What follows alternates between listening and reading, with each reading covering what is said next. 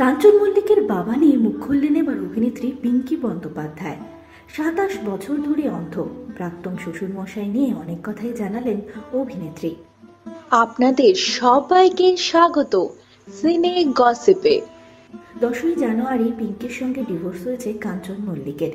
তারপরেই শ্রীময়ীর সঙ্গে তৃতীয়বার বিয়ের পিড়িতে বসেছেন তিনি। বারবার উঠে এসেছে কাঞ্চন শ্রীময়ীর বিয়ের সময় পিঙ্কির নাম। অভিনেত্রী পিঙ্কি নিজের মতো করে সংসার গুছিয়ে নিয়েছেন। ডিভোর্সের পর থেকেই ওষ অর্থাৎ কাঞ্চন শ্রীময়ীর ছেলের দায়িত্ব পিঙ্কির কাঁধেই অভিনেতা কাঞ্চন মল্লিক সাফ জানিয়ে দিয়েছেন, একটা বাচ্চাকে মায়ের কাছ থেকে আলাদা করতে চান না তিনি। বন্ধুরা ডিভোর্সের পরে একটি জনপ্রিয় সংবাদ মাধ্যমের সাক্ষাৎকারে অভিনেত্রী বারবার উল্লেখ করেছেন, একটা মানুষের জীবনে বিয়ের বাইরেও অনেক কিছু আছে। অভিনেত্রী পিঙ্কি বন্দ্যোপাধ্যায়কে দেখা যায় কাঞ্চনের বিয়ের সম্পর্কে আরও অনেক কথাই উল্লেখ করতে। উঠে এসেছে তার শ্বশুর মশাইয়ের প্রসঙ্গ। অভিনেত্রী জানিয়েছেন, কাঞ্চনের সঙ্গে বিয়ের থেকে সব থেকে বড় পাওনা হলো তার শ্বশুর মশাই সংবাদ মাধ্যমে তিনি জানিয়েছেন, হয়তো সেই মানুষটার সঙ্গে দেখা হবে বলেই আমাদের বিয়েটা হয়েছিল। তিনি কাঞ্চন মল্লিকের বাবা কার্তিক মল্লিক। তিনি যেমন দেখতে সুন্দর, তেমনি সুন্দর ভালো ব্যবহার, অসাধারণ ব্যক্তিত্ব, বড় মনের মানুষ। কি সৌম্যকান্তি ব্যক্তি। সাতাশ বছর ধরে অন্ধ ছিলেন। সাতাশ বছর ধরে চোখে দেখতে পান না। তাও একটা দিন লাঠি ধরেননি। উনি ছিলেন আমার চা, কফি খাওয়ার ব্যক্তি। আমার বাড়িতে কেউ আমাকে কখনো ডাক নাম দেয়নি, কিন্তু আমার শ্বশুর মশাই দিয়েছিলেন। এত মৃদুভাষী ছিলেন যে প্রথমে মনে হয়েছিল ডাকছেন কিনি, পরে বুঝতে পারলাম ডাকছেন বিনি। কিনা বিনা সুতোয় মালা বাঁধতে পারে। অভিনেত্রী পিঙ্কি বন্দ্যোপাধ্যায় ছেলে সম্পর্কে আরও কথা জানান। অভিনেত্রীর কথায় তার ছেলে হয়েছে তার শ্বশুর মশাইয়ের প্রতিচ্ছবি। ওষির মধ্যে তিনি প্রাক্তন বর নয় কাঞ্চন মল্লিকের বাবার প্রতিচ্ছবি খুঁজে পান।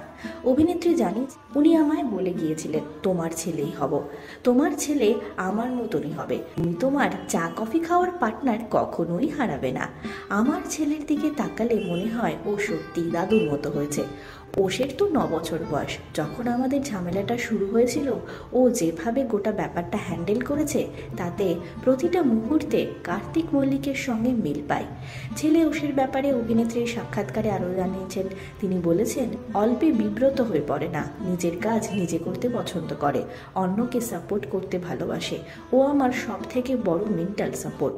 লকডাউনের সময় ডিভোর্সের চিঠিটা এসেছিল, আমি ওকে সঙ্গে সঙ্গেই জানিয়েছিলাম, ও আমার আমার হাতটা ধরে বলেছিল, মা, আমাদের স্কুলে এখন হিউম্যান বডি পড়ানো হচ্ছে। সেখানে পড়েছি, আমাদের শরীরে অ্যাপেন্ডিক্স নামে একটি অংশ থাকে, যেটা আমাদের প্রয়োজন পড়ে না। দরকারে তা কেটে বাদ দিয়ে দেওয়া যায় সহজেই। তুমি এগিয়ে যাও। আমরা খুশি। উনিও খুব ভালো থাকুক একে অপরের সঙ্গে। এখানেই শেষ নয়। ও স্পষ্ট করে জানিয়ে দিয়েছে যেন তার সব দায়িত্ব মাকেই দেওয়া হয়। পিঙ্কি নিজেও জানান, তারা এখন একটা টিম, একসঙ্গে ভালো আছেন। ছেলেকে বড় করছেন বললে ভুল হবে। অভিনেত্রী তার ছেলেকে মানুষ করছেন। বিনোদন জগতের আরও অনেক খবর নিয়ে আসছি। আপনাদের কাছে জুড়ে থাকুন আমাদের সঙ্গে। আমরা হলাম সিনে গসিপ। জুড়ে থাকুন আমাদের সঙ্গে।